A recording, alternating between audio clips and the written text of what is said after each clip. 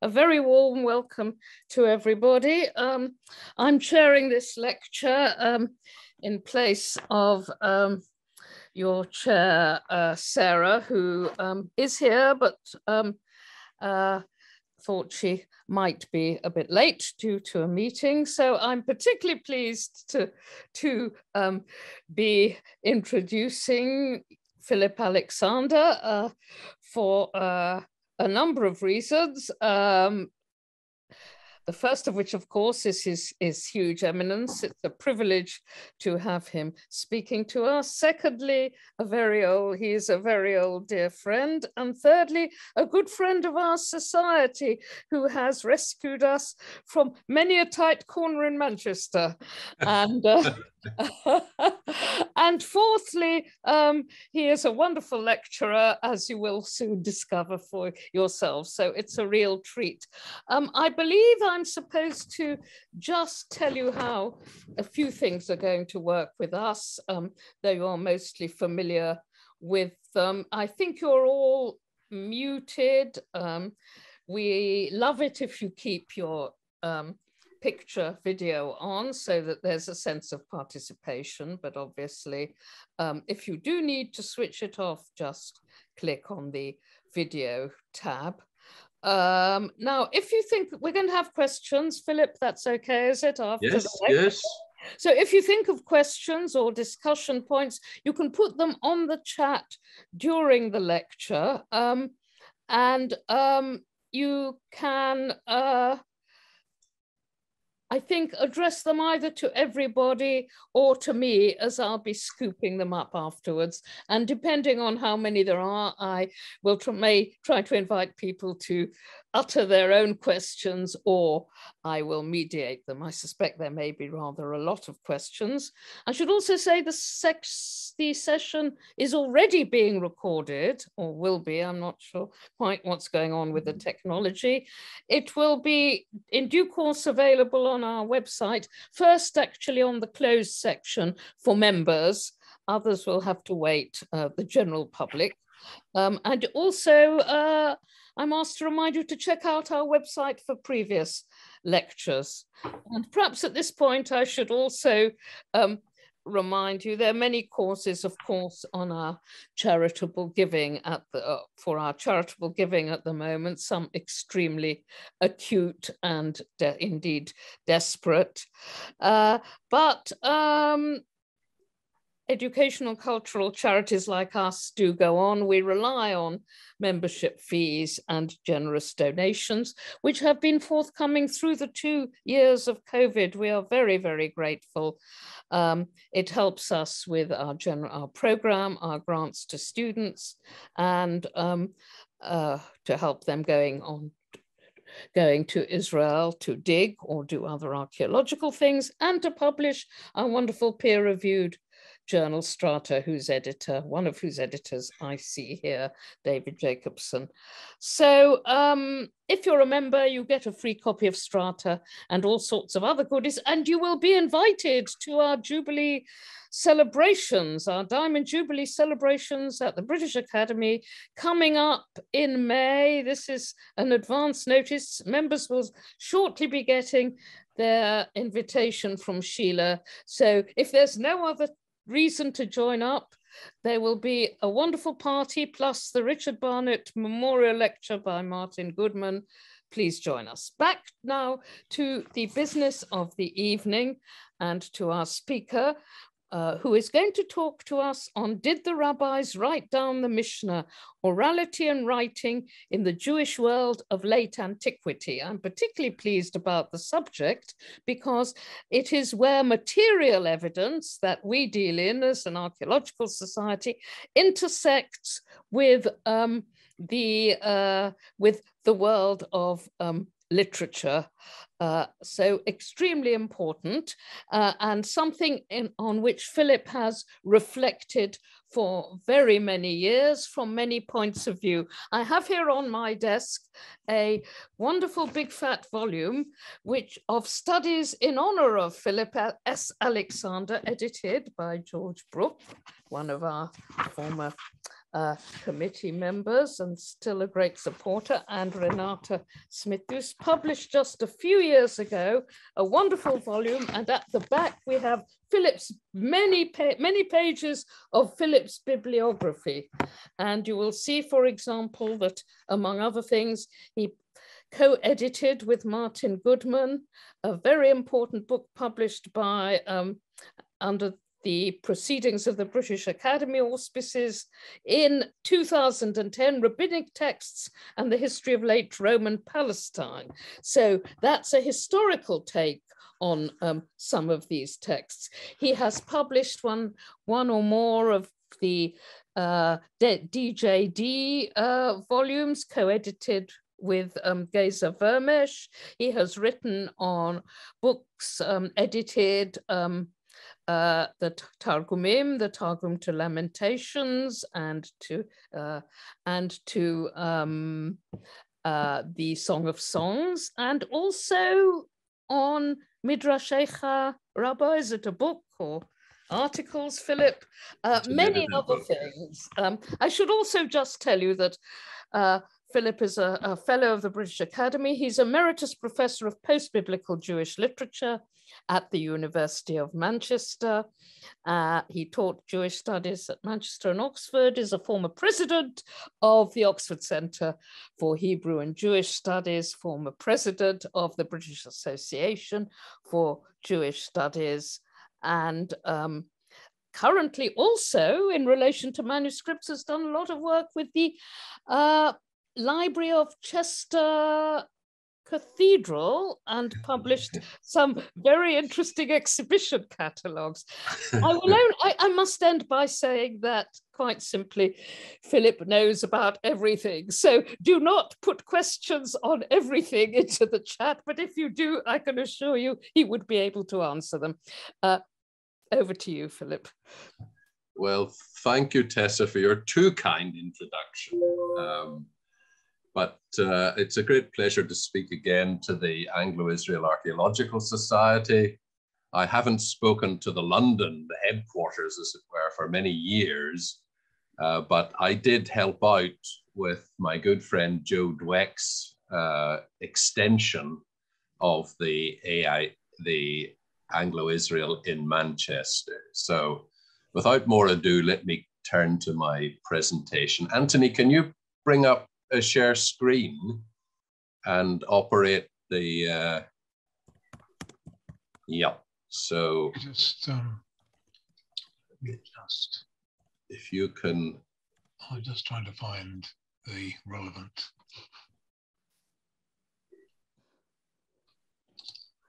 Slideshow, yep. There we are, so we want, um, there we are. There we go. Lovely. So I will, I will ask you, um, like the chief medical officer, you know, of the UK. Uh, next slide, please, Anthony, because I'm not controlling these. When I was asked if I, if I had something that would interest the society, I thought I would give a paper based on research I have just published in the new Brill Encyclopedia of Jewish Book Cultures. I was asked by the editors of that work if I would do a survey of Jewish book culture in the period of the Talmud. That is to say, roughly the first to the 8th century CE. This is something I'm very interested in, and it feeds into a lifelong passion of mine Hebrew manuscripts. One of my big projects at the moment is to finish off the catalogue of the manuscripts in Hebrew script in the John Rylands Library, Manchester, most of which belong to the great Jewish scholar Moses Gaster, who played quite a role in Jewish life in this country and in the Zionist movement in the first half of the 20th century. Since Purim is upon us and Hag Sameach to everyone, I wonder if I might just take a few moments to share with you a recent Purim related discovery made in the Rylands by my excellent assistant, Dr. Zsofia Buda. It is of an 18th century manuscript of a Purim play. Here it is on screen. Now, the script is clearly Hebrew, but what language is it in? And I doubt if you can, it's big enough for you to even attempt to, to work it out. The rubrics and stage directions are in Hebrew, but the play itself is in Judeo Provençal, Judeo Occitan, the language spoken by Jews in southern France in the late Middle Ages and early modern times. A Roman script version of this play was printed in Paris in the 19th century, but this appears to be the only known manuscript version. And there are things in our manuscript which are not in the printed text. This may well be the autograph.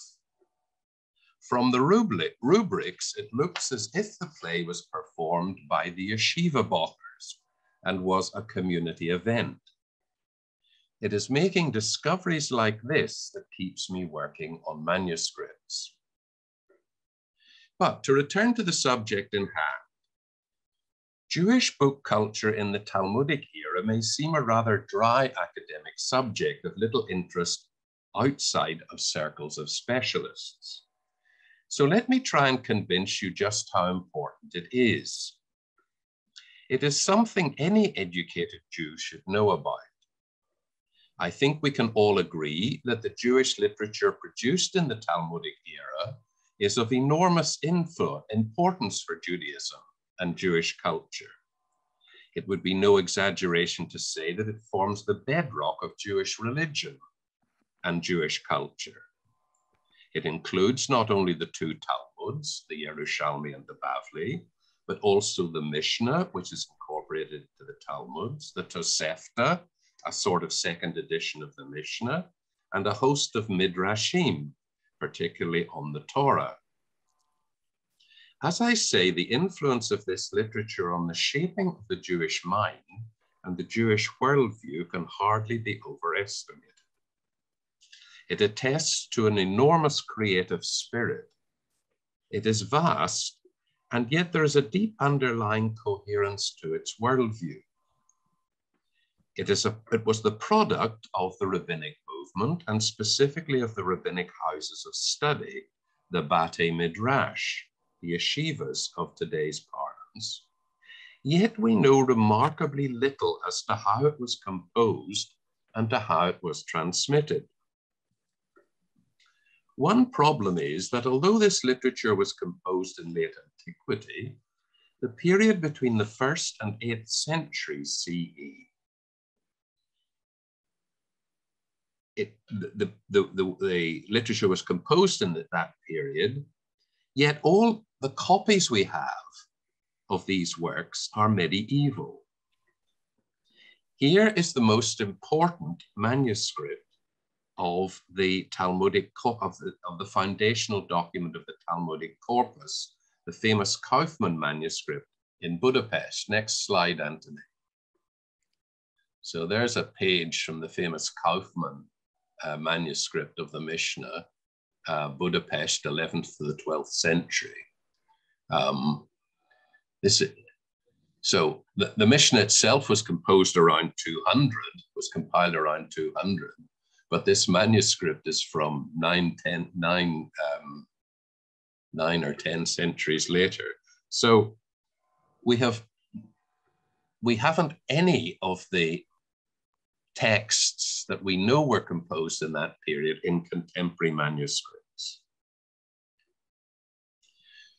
Now, some would really would argue that there is really no problem here because the tradition itself tells us how this literature came into being and was transmitted in late antiquity.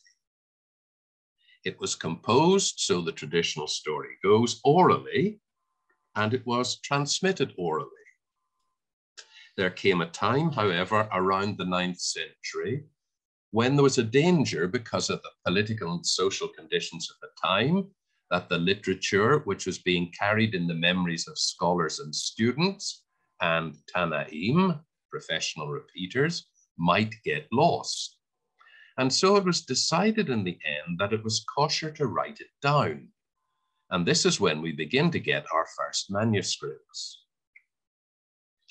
If we express skepticism as to whether it is credible that the Talmud or even the Mishnah, given its size and complexity, could have been transmitted orally from generation to generation over hundreds of years, and could even have been orally composed.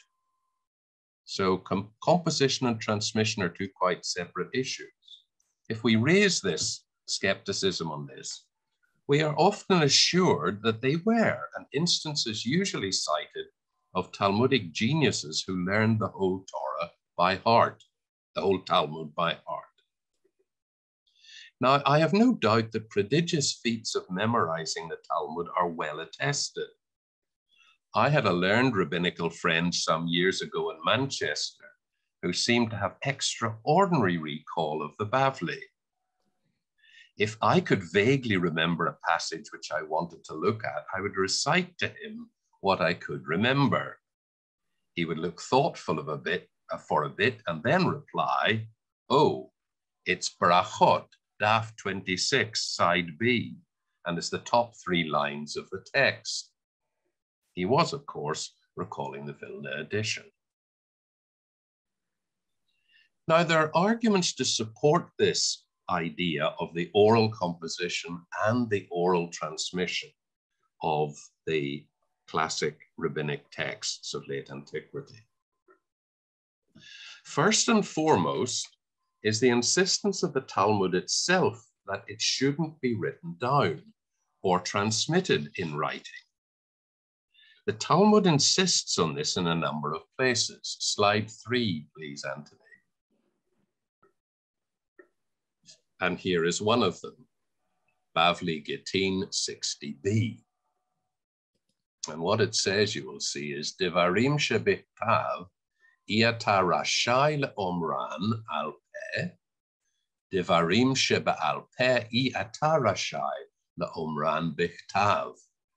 Deve Rabbi Yishmael Tana ele ele ata kotev, the i ata kotev halachot. So this kind of statement is repeated quite a few times in rabbinic literature, and I've listed on the bottom there some of the other occurrences of this particular tradition. The reason for this insistence that the uh, Mishnah and the Talmud and the related texts should not be written down is because they belong to the oral Torah in contrast to the written Torah. The written Torah is identical with the text in the Sefer Torah in Shul, neither more nor less. In other words, it does not include the vowels or the accents, nor the rest of the traditional apparatus of commentary, Mishnah and Talmud, which elucidates the written Torah and applies it.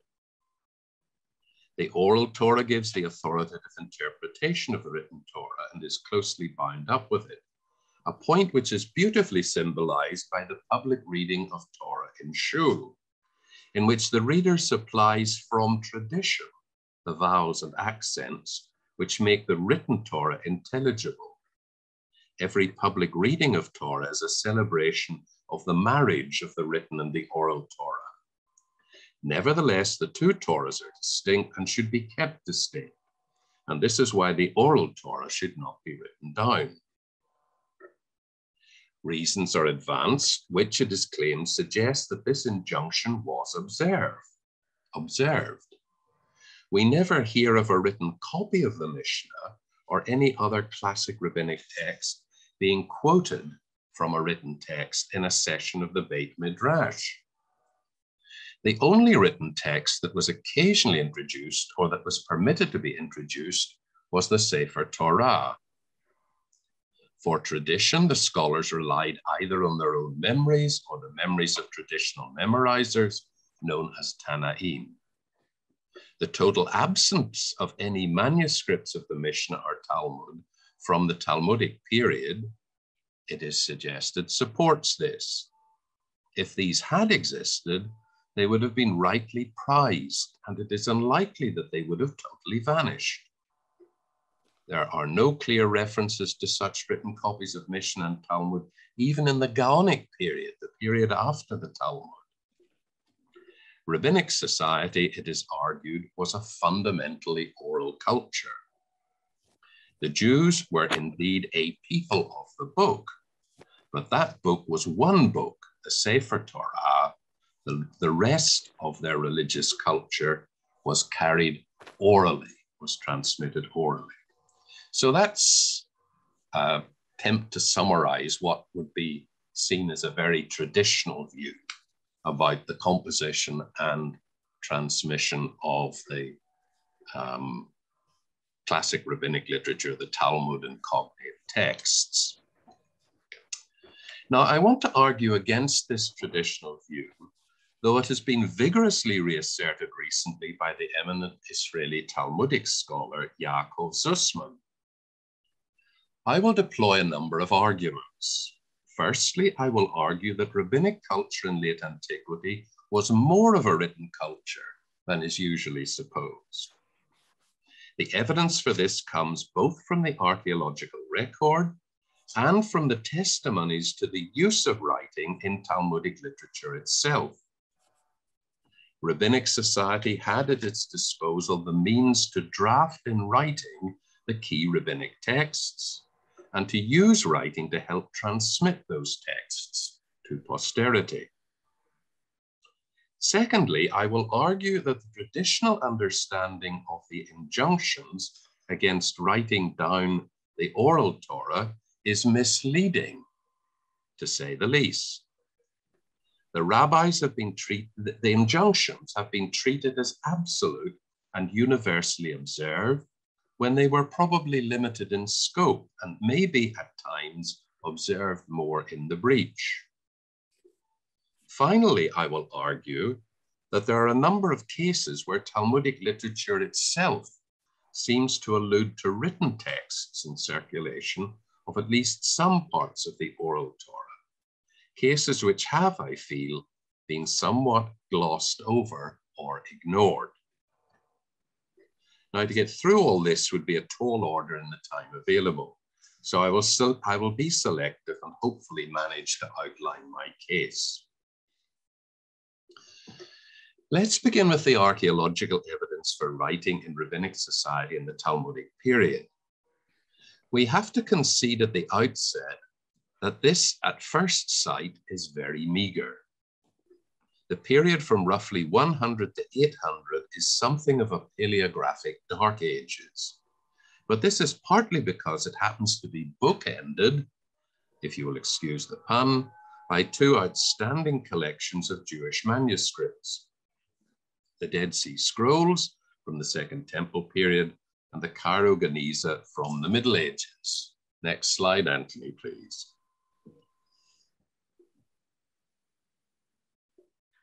There is a representation of Qumran and a representation of the Ben Ezra synagogue. I say surprisingly rich. Sorry, I've jumped. I've jumped a bit. So despite the fact that we've got this big collection in the early, middle, beginning in the early Middle Ages from Ben Ezra Synagogue and the big collection from Qumran, um, the bit in between looks very, very thin and meager in terms of evidence. But if we take our eyes for the moment off those collections, Dead Sea Scrolls and the Geniza, then the evidence is not so negligible.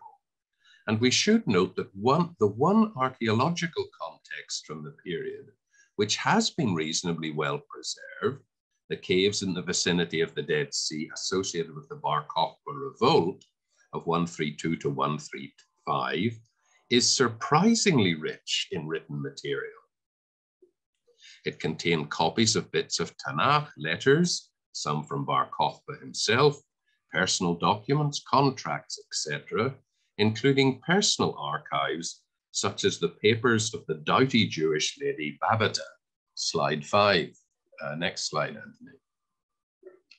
There is her document registering her ownership of four date orchards as one of the, the documents um, from her archive. I say surprisingly rich because this was not a normal Jewish community. It was made up of Jewish refugees hiding out in caves from the Romans. Refugees to boot from a remote rural area of Judea, and yet despite all. No, what? I'm listening to something. Uh, this is coming along the way out. Right, okay, I'm listening to something. I'm just telling you. Okay, fine, good, I've got it. Six or six fifteen. I've got it, fine, okay.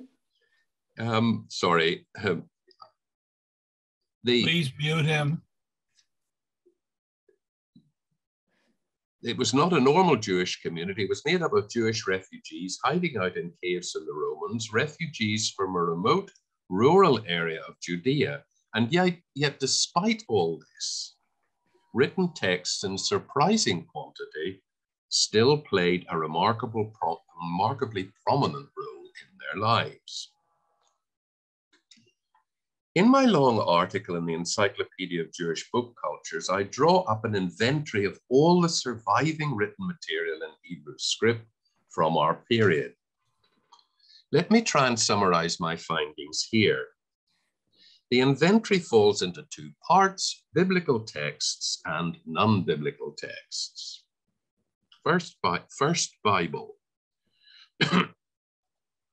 The only Jewish book proper in Hebrew script to survive from late antiquity is the Sefer Torah, and then only in fragments, overwhelmingly from the Torah itself, with a few from the Nach, 1 and 2 Kings, and Job. They are mainly from scrolls written in skin, broadly following the rules for writing Sifrei Torah found in the Deutero-Talmudic tractates Sefer Torah, and Sofrim.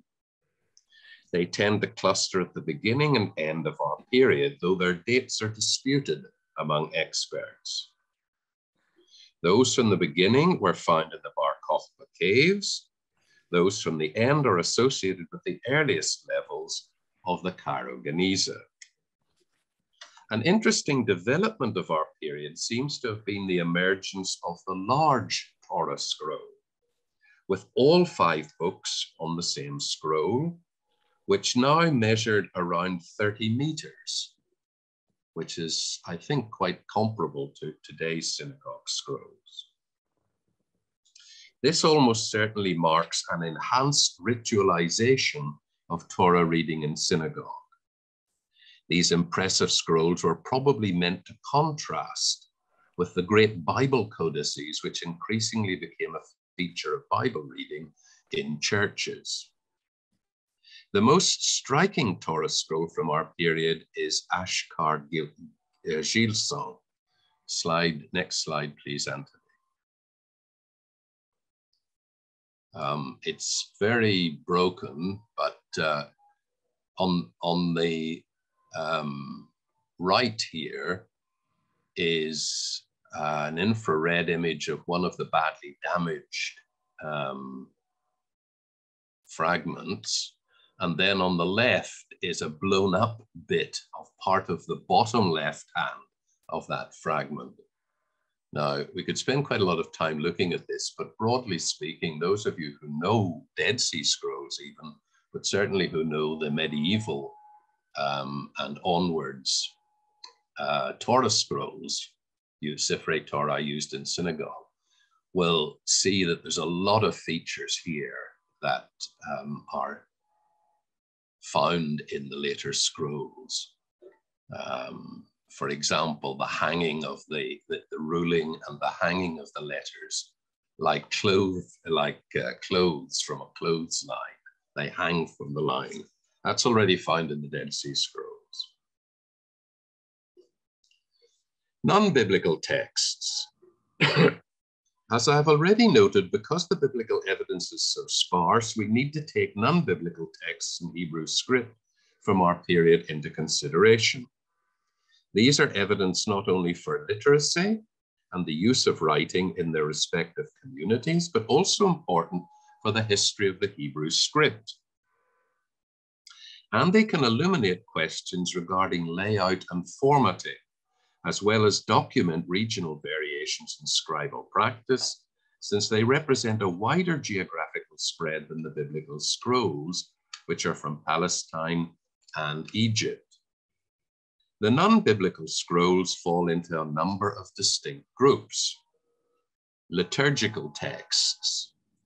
An example of this is P. Dura 11, a parchment fragment of a liturgical text from Dur Europos in the Euphrates, probably dated no later than 256, when the town and synagogue were destroyed by the Sasanians. And there are other prayer texts in, in uh, Hebrew script. Second, documents. As I have already noted, numerous papyrus documents, Greek, Jewish, Aramaic, Nabatean Aramaic, and Hebrew have been recovered from the Bar Kokhba caves. Letters, contracts, legal de deeds make up the bulk of the material. But we also have, and this is very interesting, Hebrew script papyrus documents from Egypt. The most important, perhaps, of which is the so-called Cologne Ketubah, dated 417, found at Antinopolis. This is both in Aramaic and Greek, transliterated into Hebrew script. Then we have inscriptions of two kinds, funerary inscriptions, that is epitaphs, and synagogue inscriptions. Epitaphs are common from all over the Jewish world in late antiquity. The majority are in Greek, but some are in Hebrew Aramaic or a mixture of Hebrew and Greek stroke Latin. Of importance for our present purposes is a group of mid-5th century Aramaic epitaphs from Byzantine Zoora, the biblical Zoar, south of the Dead Sea. In the Western diaspora, Jewish epitaphs are in Greek till the fifth century, when Hebrew begins to creep in, and thereafter it increases in frequency and distribution, suggesting greater use of Hebrew as an identity marker by Greek speaking Jews one of the earliest locations to display that this pattern of introducing some Hebrew words is Venosa in southern Italy. Synagogue inscriptions. These were also very common in our period right across the Jewish world. Again, the majority are in Greek, but some are in Hebrew Aramaic. They are often dedicatory in character, recording the generosity of patrons. For our present purposes, the most important of these is the long Hebrew inscription in mosaic about the borders of Eretz Israel, insofar as they relate to the laws of tithing and sabbatical year from the 6th, 7th century synagogue at Rehov near Beit Shan. Next slide, please. I don't know you can read much of that, but you can see it's a big inscription. And uh, the Hebrew script has been picked out painstakingly in tesserae, in the little tiles. Um, and it's a long inscription about the borders of Eretz Israel. Remarkably, a version of the same document is found in rabbinic literature for example, in Tosefta Shevi'it 4.5. The importance of this fact can hardly be overestimated since it establishes a clear link between the archaeological record and rabbinic literature. But we should not jump to the conclusion, as some do, that the synagogue copies were taken from rabbinic sources. More likely, both the synagogue inscriptions and the rabbinic texts were independently copied from a legal document which originated elsewhere, possibly among the priests. Magic. A considerable number of Aramaic and Hebrew written amulets survive from late antiquity. Those from Babylonia in Aramaic are written on unglazed pottery bowls of various shapes and sizes. Hundreds of these so-called incantation bowls all of them belonging to the Sasanian era, have been discovered. Next slide, please. And here you have a very nice bowl. Um, as you see, the inscription is written inside the bowl in a spiral, sometimes starting in the middle and working out, and sometimes starting in the, the out and working in. And quite often in the middle, you get these rather fetching looking little demons um, who are obviously being attacked by the inscription. These magic bowls constitute an, a precious resource as yet barely tapped for the study of the Hebrew script in Babylonia in the time of the Babylonian Talmud. They're absolutely um, of the same age as the Babylonian Talmud. They contain occasional quotations from Tanakh, both in Hebrew and Aramaic. Bowl magic does not seem to have been practiced outside Mesopotamia. It is not attested in Palestine or more generally in the West. Their Jewish amulets in Hebrew script tended to be incised on lamellae, that is, thin sheets of metal such as copper or lead. The lamella was then folded or rolled and put into some sort of container, which allowed it to be worn on the person. An example of such an amulet is the unusually long text in Palestinian Jewish Aramaic, incised on a gold sheet belonging to the collector Beni Wolf of Jerusalem. The spell is designed to ensure victory in court cases.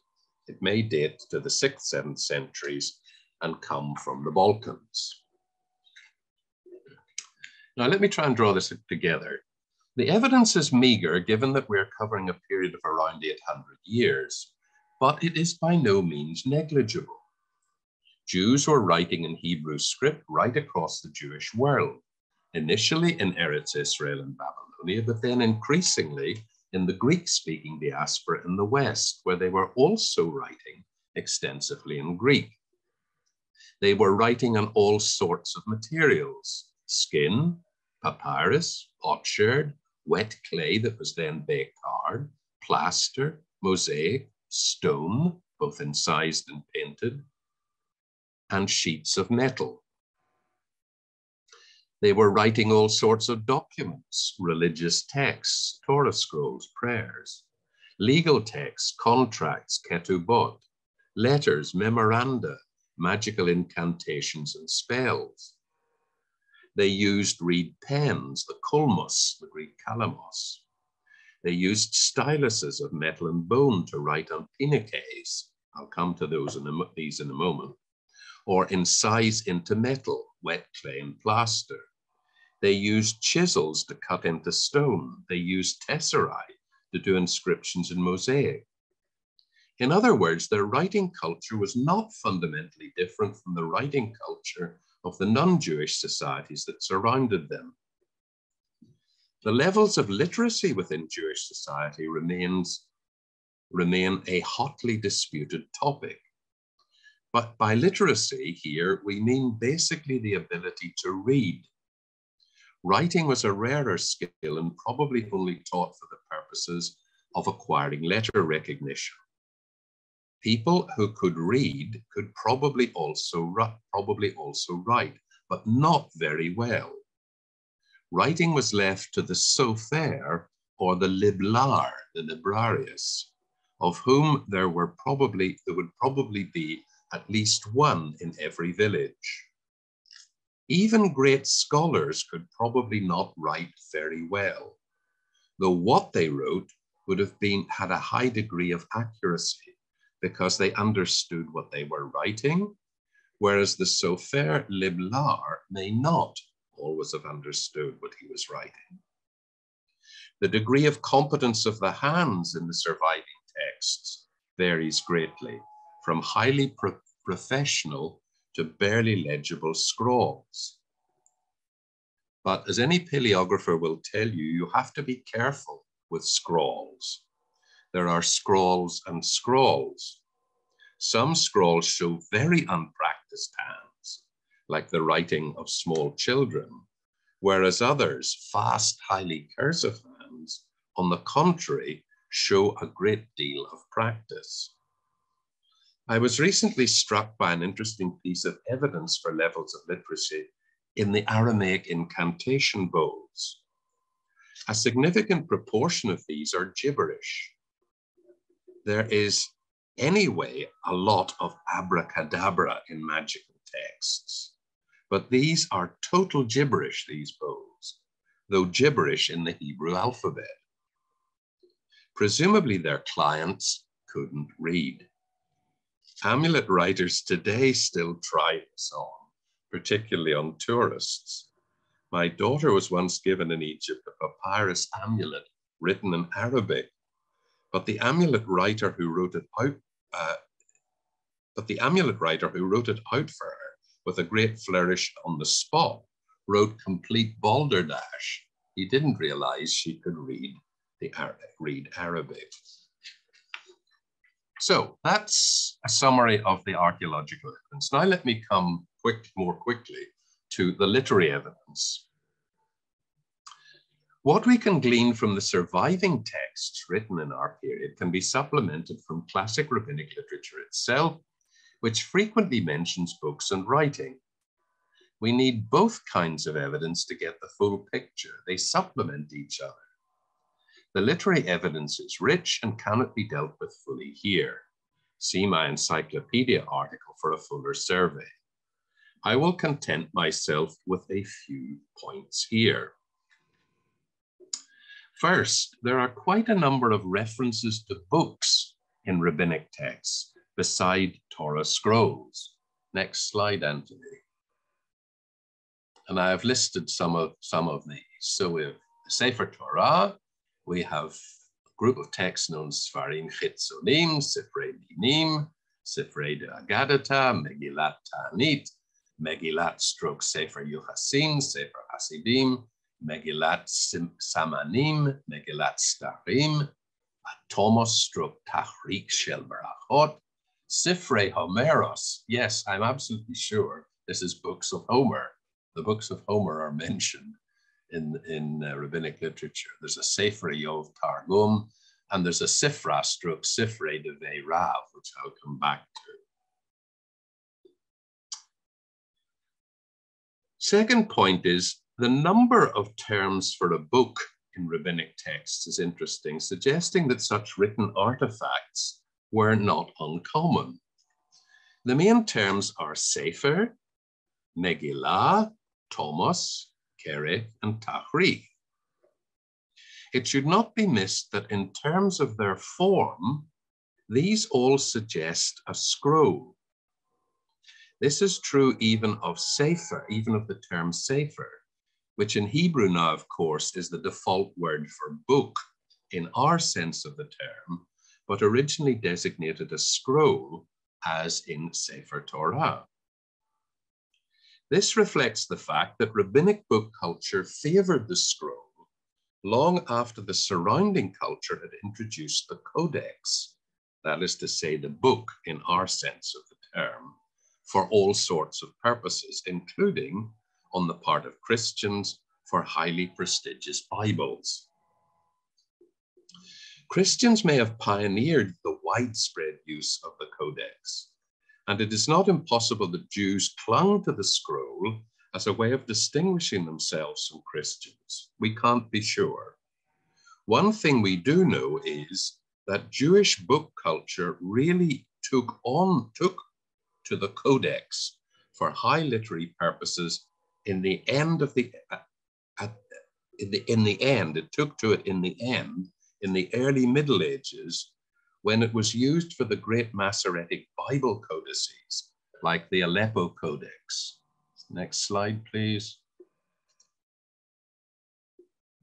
So there is a, a page from the Aleppo Codex. It's a codex, it's a book.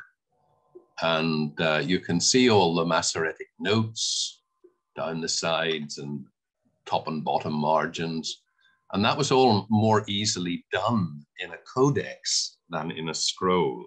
And it was one reason why I think that the Masoretes chose the codex and introduced it to Jewish book culture because it suited their um, annotations. But I also think that they chose the codex to distinguish their production from the Torah scroll in synagogue because their codices, their big Masoretic Bibles, magnificent though they are, are not kosher for liturgical use. Seems a bit odd. They're such beautiful and magnificent objects, but they are not kosher for liturgical use because the Torah has to be written from a scroll. The final point I will draw from the literary evidence is the frequent references to note-taking devices. Three of these are noteworthy. First, the tabla, a loan word from the Latin tabula. This is commonly referred to in the scholarly literature as a slat. It was a thin sheet of wood, about the size of the modern postcard, which could be written on in ink. The most famous examples of slats are the Vindolanda tablets from the Roman garrison town on Hadrian's Wall known as Vindolanda. Next slide, Anthony. And there we have uh, four of the Vindolanda tablets. You can see they're um, little sheets of wood. They're about the size of a postcard. And you can see the little holes in them um, that, that allowed them to be um, tied together, presumably.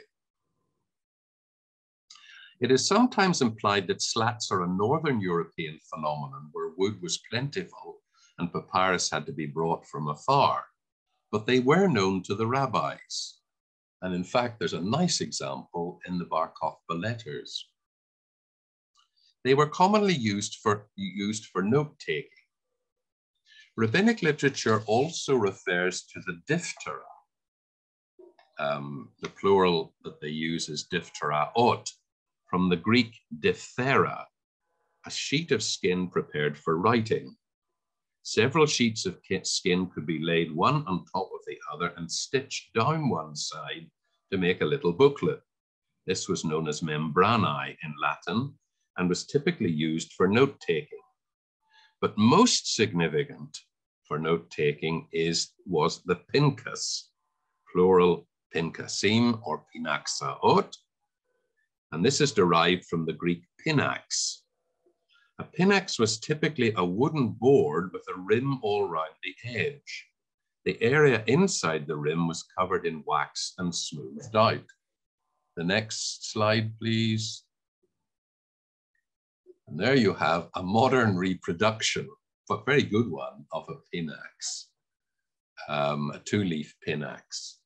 And as you see, it's um, you, they can be tied in the middle. And there's the stylus that you write with, pointed at one end for the writing, and then a sort of spatula at the other, which allows you to smooth the wax out if you want to make a correction, or to erase the whole text.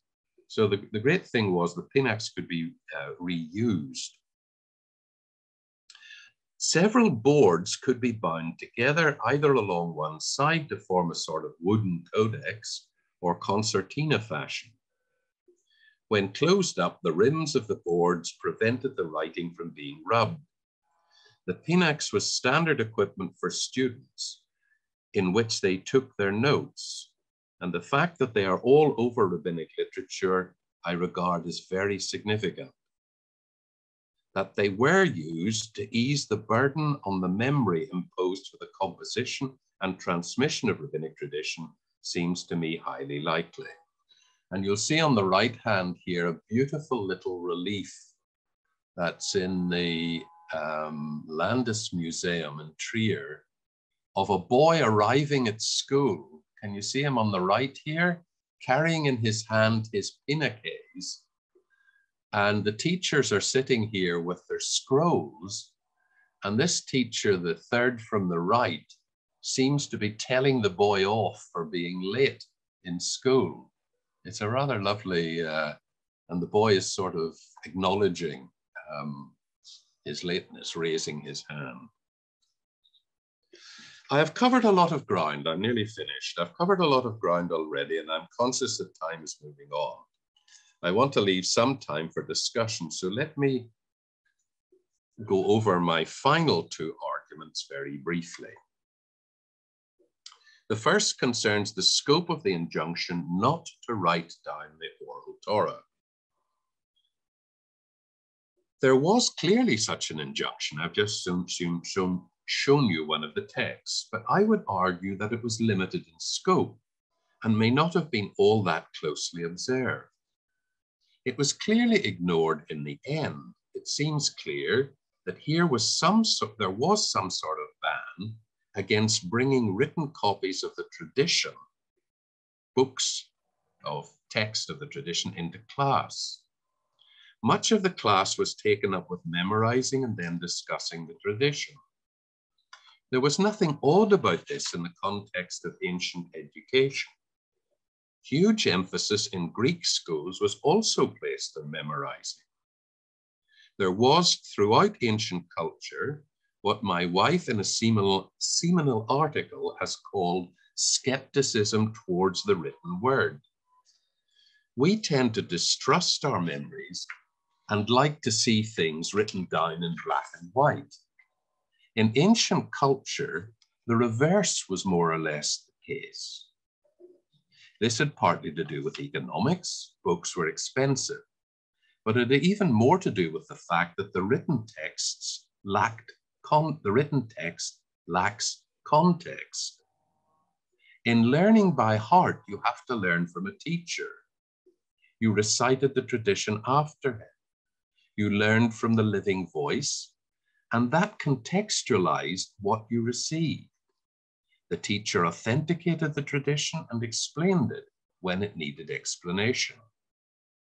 Ancient culture was extremely suspicious of autodidacts self taught people. And this was often put in the famous maxim you wouldn't trust yourself to a sea captain who had learned his craft from a book, would you? But none of this meant that there weren't written copies of the tradition around, nor that collections of tradition had not been assembled with the use of writing. But even if they did start out as written collections, those collections would still have been learned off by heart and passed on orally. This leads me to my final point, namely that there is some evidence from rabbinic literature itself for the existence of written texts of oral Torah. I will confine myself to only two little bits of evidence. The first is the formula Nefak dak v'ashkach. Next slide, Anthony. Oh, yes, it's, right, it's at the top here. I've transliterated it, which means he went out, he examined, and found. And this little formula is found um, several times in the Bavli, only in the Bavli. The context is a dispute over the wording of a tradition during a session of the Beit Midrash. It has been suggested the sense is, is that someone went out and consulted a teacher a Tanna. But a better way of understanding it, I would argue, is to suppose that he left the study hall and consulted a written version of the tradition and then reported back. I could spend some time trying to defend that, but this is my argument. If it was to consult a teacher or a Tanna, why not bring him back to join the discussion? The written text could not, however, be brought into class. If a written text is envisaged, then it would make sense if it were located on the premises, and we, but we can't be sure. A collection of books, a library of sorts, would probably have been found in the larger Bate Midrash. And again, there's uh, circumstantial evidence for this, allusions and references. So that's the first bit of evidence. This leads me to my final little piece of evidence, and for me, it is a bit of a clincher. It is the frequent references in the Babylonian Talmud to Sifra, Sifre, and Sifre Devei Rav, the book, books, and the books of the schoolhouse.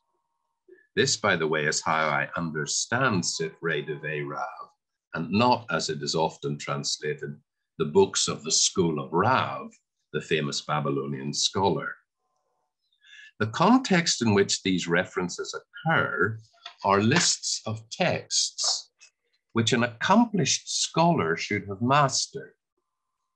These include, and I've given the list here, Sifra, Sifrei, Sifrei de Rav, and then we get the list Sifra, Sifrei, and Halakha, Halachot, Sifra, Sifrei, and Tosefta, Halacha, Sifra, Sifrei, and Talmud, Halacha, Sifra, Sifrei, and Gemara.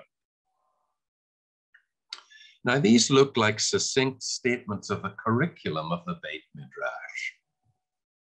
The names Sifra and Sifrei are now, of course, attached to the halachic Midrashim, Sifra to the Midrash in Leviticus, and Sifrei to the Midrashim and Numbers in Deuteronomy.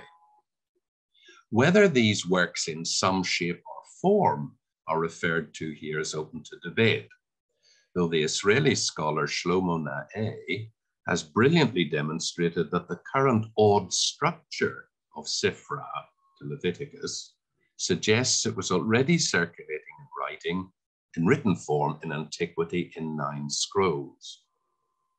But whatever the books referred to are, and I think they're not Torah scrolls, it's not Torah, it is surely indisputable that what the wording indicates is that these texts were circulating in the Beit Midrash in written form.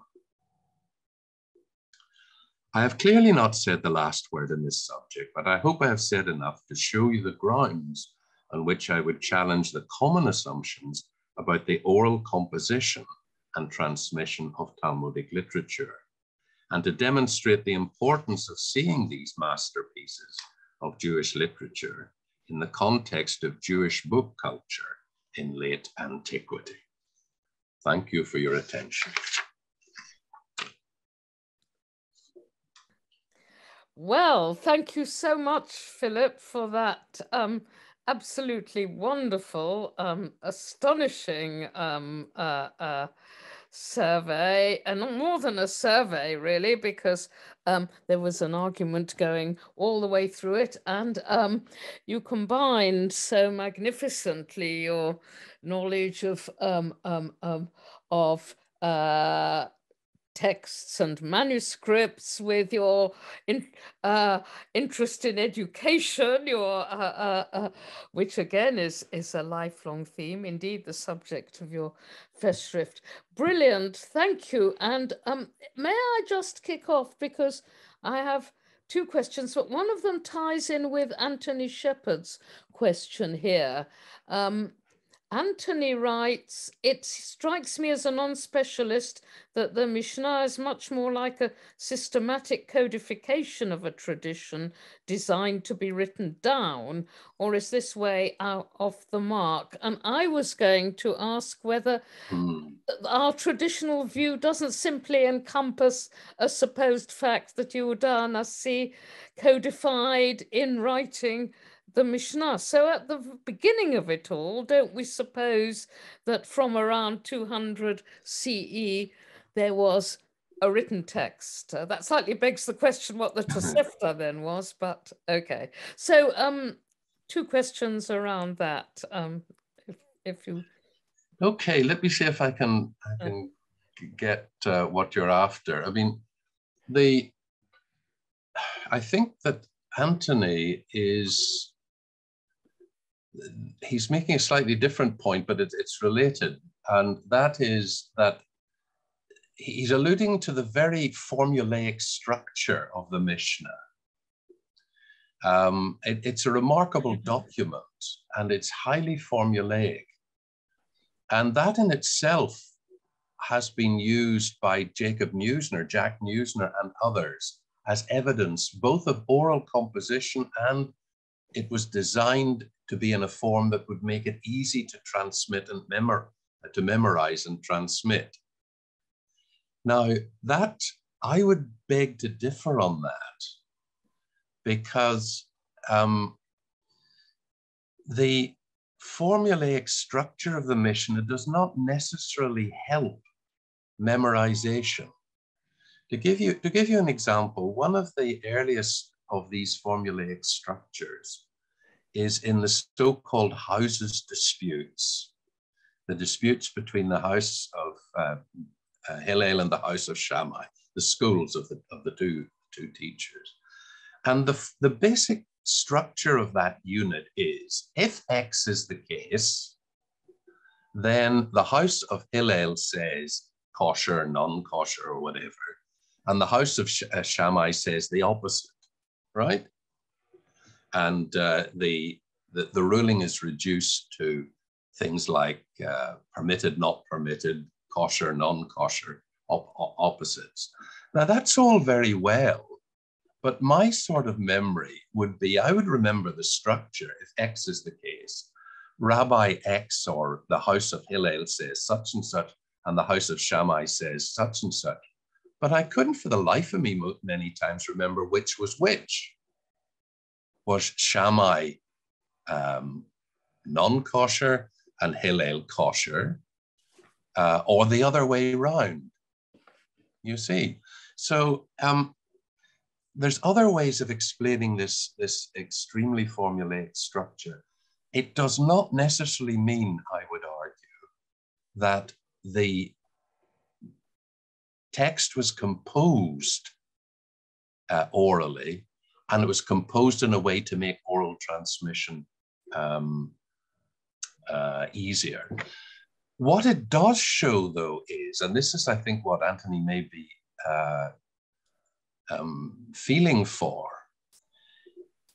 the actual wording of the ruling of the house of Hillel and the house of Shammai in this case has not been preserved.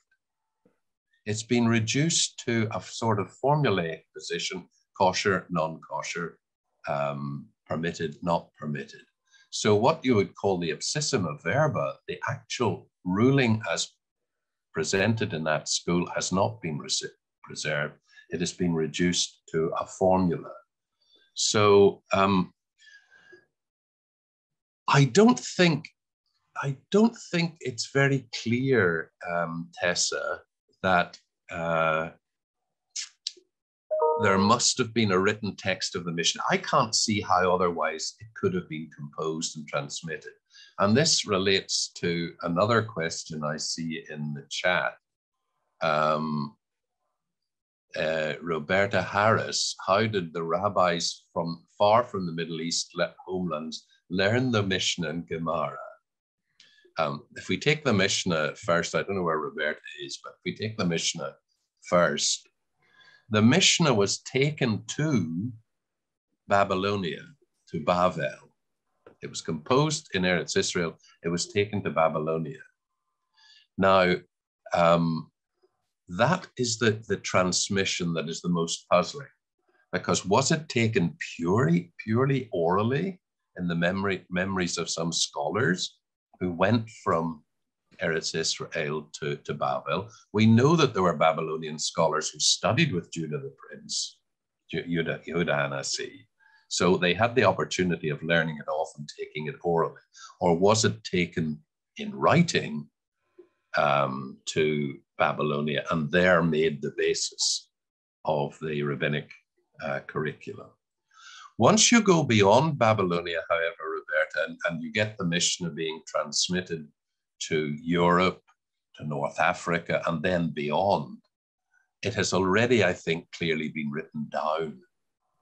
Um, so the the one um, the one uh, instance where it is problematic is the transmission from uh, the Galilee, from Eretz Israel, to the uh, Babylonian schools in the um, in the third century. I hope that does does that answer the, the question, Tessa? Oh, I think so. Uh, Roberta, I'm sure, uh, will be happy. Um, uh, unless you want to come back, Roberta. I can't get my grid up at the moment to see everybody. Um, I don't know if that's something to do with my system. I'm sorry about that. So I can't see all. Um, but um, that's, thank you, Philip. Yes. And um, well, we probably should unless anything else links up, we have a different kind of a question, but a quick one. Harvey, did any of the Christian or Muslim philosophers of the early period refer to Mishnah Gemara topics? Um, the Muslim ones would be after, obviously, after the uh, early seventh century, after the rise of Islam. But there are references to the Mishnah, what looked like references to the Mishnah in Christian legislation um, by Roman Christian emperors. Um, the novella of Justinian uh, mentions the Deuterosis, which almost certainly is Mishnah. Um, so th- th- there are a few uh, there are a few cases of Christian reference to the Mishnah. Uh, Jerome also refers to um, rabbinic uh, writings. Jerome was the one church father who knew something firsthand about um, the contemporary rabbinic um, literary activity, but they're not much. And I can't for the life of me remember any Muslim references, Arabic references to the Mishnah, but somebody may put me right on that. It's, you know, specific references to the Mishnah in early, early Muslim writings. Okay. Thank you. Um, we have a long question from BA. Uh, would it help if you read it, Philip? Uh, shall I read it out? I probably yeah, if you read if you read yes, it out. Yes. Do you think the concept of oral Torah originated as a strategic apologetic maneuver by the rabbis, an attempt to create a pseudo historical routing for a massive rabbinical reworking of the meaning of the written Torah? If you accept this understanding of the origins of the notion of oral Torah, do you think the notion of oral transmission after 200, including references in the Talmud, was simply an extension, continuation, and reinforcement of the earlier strategic ploy, one that was never implemented except in a peripheral way, but rather was always part of an ongoing attempt to create or reinforce a normative statement for rabbinic Judaism by emphasizing its claimed origins with Moses. This is how I would understand the Christian notion of apostolic succession, i.e., as an effort by the proto Orthodox, in quotes, to validate their understanding uh, and texts. And I wonder if the same holds for the lineage of the rabbis. Well, that's very interesting. Um, that is extremely interesting. And I would say I totally agree. Um, it, uh, uh, the, I think there's a wonderful um, little midrashic tradition in, um, in the Midrashim, which bear on this and put this point rather nicely. And that is that on the judgment day, the Christians and the Jews and the Jewish people appear before the Holy One, blessed be He. And each of them says, We are Israel. You see? Um, how do you know you're Israel? Well, the Christians say, We have the Torah. The Jews say, We have the Torah. So, so far, they're, they're equal. But, says the Midrash, the Holy One, blessed be He, will say, They are the true Israel who have my mysteries. And what are God's mysteries? His mysteries are the Mishnah. And those mysteries are, are, are kept in oral form. The Christians did not have the Mishnah. They couldn't have it because they would have had to access it orally by going and studying in the yeshivas. So there, and this proves the, the true genealogy, the true lineage of the, the Jewish people, because they're the ones with God's mysteries. That's found in a late Midrash and uh, Tanhuma and uh, other places. So the, the point here that it was a it had a polemical side to it, the insistence on the oral Torah as being as important as the written Torah and giving the true interpretation of the oral Torah. And you could only access that oral Torah if you studied in the right schools with the right teachers who had studied all the way back in an unbroken tradition to Moshe Rabbeinu himself. Um, that was definitely an apologetic, uh, polemical position.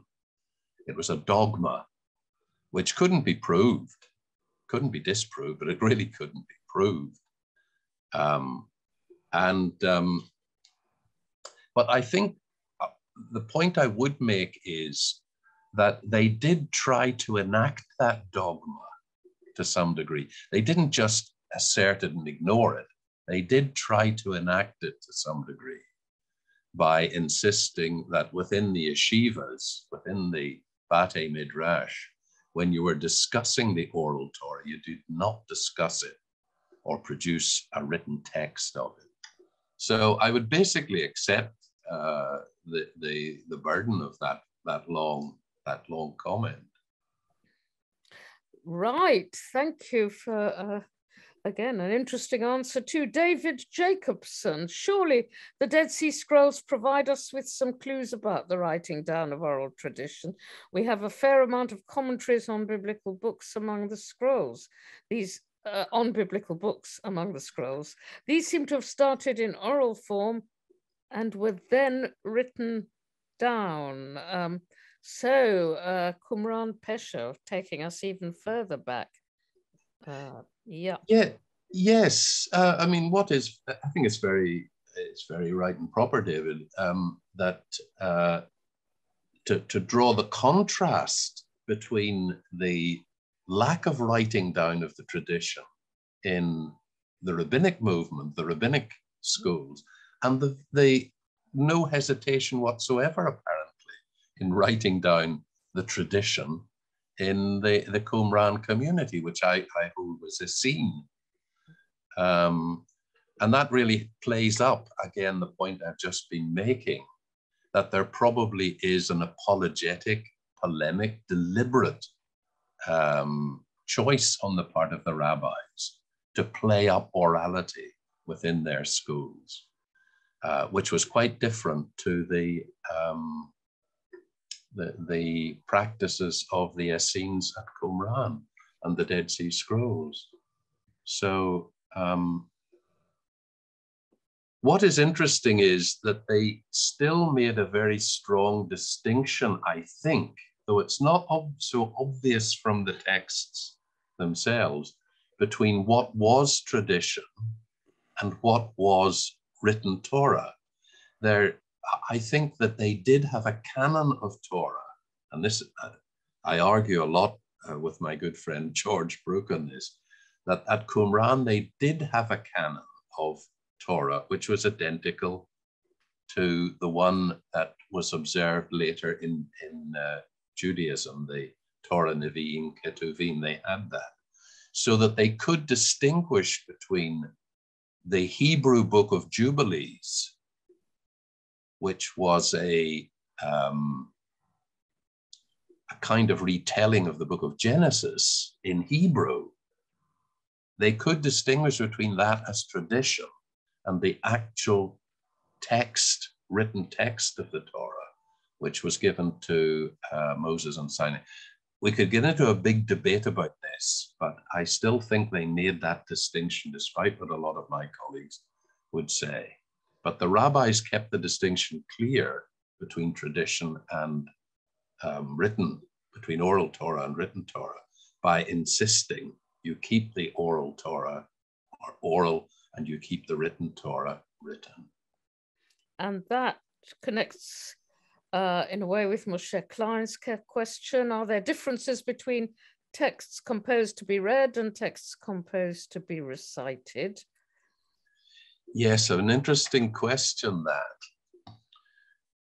Um, I think the short answer is that there are. I mean, some texts are clearly uh, composed to be read aloud and recited. And the most obvious case of, in, uh, of that would be poetry. Um, up until very recently in history, I think um, few people would have dreamt of reading poetry silently. In fact, few people would have uh, read any text silently in antiquity. Um, the emergence of silent reading uh, is a very recent phenomenon in history.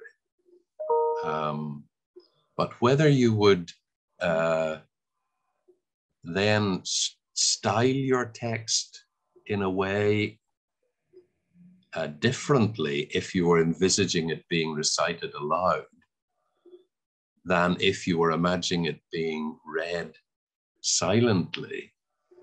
Um, I think you probably would, but it would be very hard to put your um, to put your finger on that.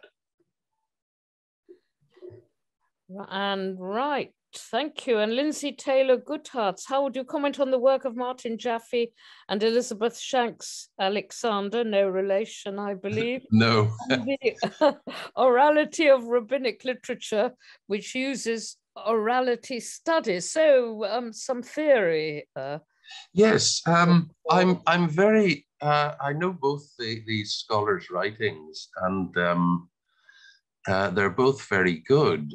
Uh, but I'm, I'm particularly close to Martin Jaffee's work. I think he's got it spot on in many ways about what what orality is is doing in in rabbinic in uh, rabbinic texts. He's written some excellent stuff on it, um, including his book. What was it, Torah of the Mouth, mm. which analyzes um, I strongly recommend that book. It's excellent. Elizabeth Shanks Alexander, no relation. Um, she's the daughter, I think, of Hershel Shanks. And oh. I think I think the Alexander bit must be her, her husband's uh, name. She she took his name, and I think it was her doctorate. Um, I think, from what I remember of it, it's a very thorough piece of work. She too much accepts the tradition that I am arguing against. She's too uh, accepting of it for my liking. But again, it's a very um, it's a very fine book, and it's one of the, it's one of the best books on the subject that appeared. It's about ten years old now, fifteen years old. But you also, um, Lindsay, uh, allude to the fact that there's a huge theoretical literature on orality, um, on how uh, texts can be orally composed and orally transmitted and so on, um, going all the way back to uh, the study of epic, uh, epics and so on. And that literature, I think, is very relevant to the study of the rabbinic orality problem. There's a lot can be derived from it that helps to, to guide us in our thinking. I didn't allude to it because it's, it's a whole it's a whole new um, a whole new field. I only skimmed the surface of a lot of stuff there, which is theoretical. But if you want one book, read Martin Jaffee. And then um, Anthony Shepard has come back. One point of information, both his points take us to the um, uh, diaspora. Uh, perhaps um, Christy or Mill Philip, very large Torah scrolls, the fourth century Sardis synagogue has a very large marble reading desk, if that's what it is, yes. yes. I mean, uh, Sorry. Yeah. yeah, yeah, yeah, yeah. Yeah. And then Anthony says lower down, how did rabbinic teaching get communicated to the Greek speaking diaspora, if at all?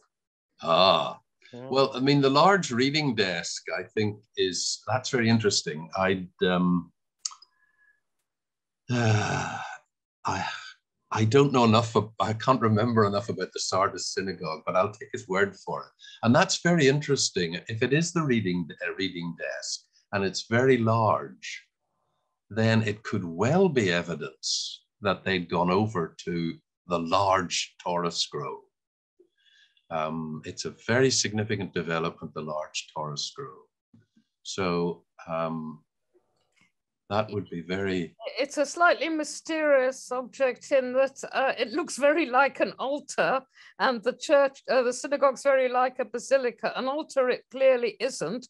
Yeah, so yeah. it's, it's uh, assumed to be a reading desk, has eagles on it, which is. Uh, Ah, but there you go. right. Um, Right. uh, so thank you, um, Anthony. And um, Gary Rendsburg, Moshe Bar-Asher has observed that many textual variants in the Mishnah manuscripts must have arisen in an oral transmission.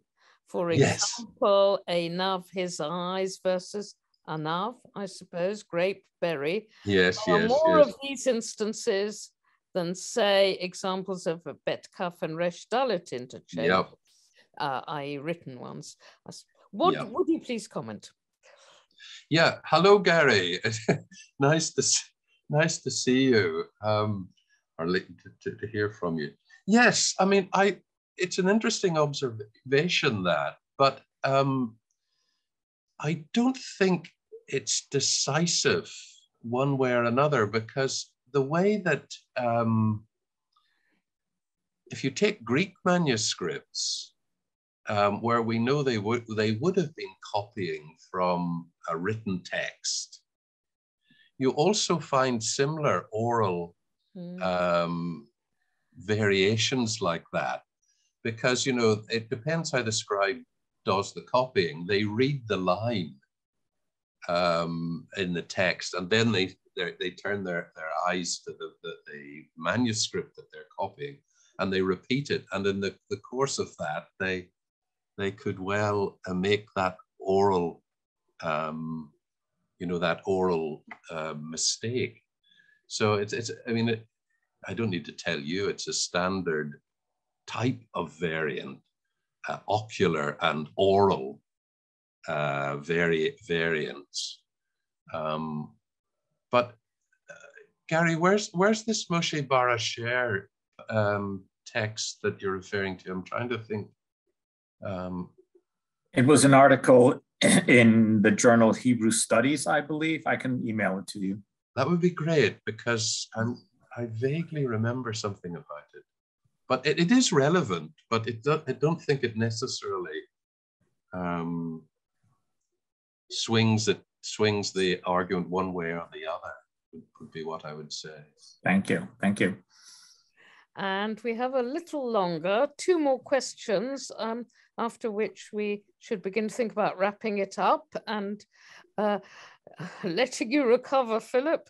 Drew Longacre, when we look at the tombstones from Byzantine Zoara, the majority were written in rather crude, non-professional scripts. I've suggested, this is the questioner, uh, that this could be an indication of a fair amount of non-scribal literacy. How do you think the quality of scripts in this and the larger corpus fits into your thesis? Yes, uh, nice to, to hear from you, uh, Drew. I know I know the text, the the article. I think I know the article that you where you argue this. Um, they are uh, the so Zoara inscriptions are very crude. I don't know whether you have any theory as to how they were made. Um, they're quite small, actually, and I think they must have been made with a reed pen, oddly enough. Um, but the, the letter shapes are quite are quite quite crude. Um, there's, Yeah, a, there's a huge range of, of different uh, competences in the hands. And I would have thought that those ones were not at the bottom end of competence and might have been um, affected by the difficult medium that, that it was being written on. I've never, I've never actually seen them in the, uh, the actual stones themselves. And I don't know how rough the surface of the stone is. Um, nor have I just, am I clear what they were written with. Um, I don't think it could have been a brush.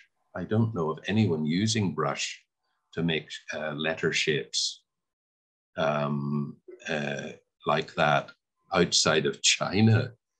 Um, so it may, the, the, the, crudeness of the letter shapes may have something to do with the in, implement being used, being um, used, and also the roughness of the, the surface of the stone. But it's an interesting, an interesting question. And uh, the last question in the chat from BA, um, following up actually, a comment. Uh, following up on Dr. Alexander's response to my question, if in fact the primary objective of the rabbis and their lineage was to render their approach normative, then I would expect the same motivation would have led them to write down their materials as much as possible. Thus, the same motivation that led the rabbis to claim orality would make them in practice wish to develop a large body of written literature.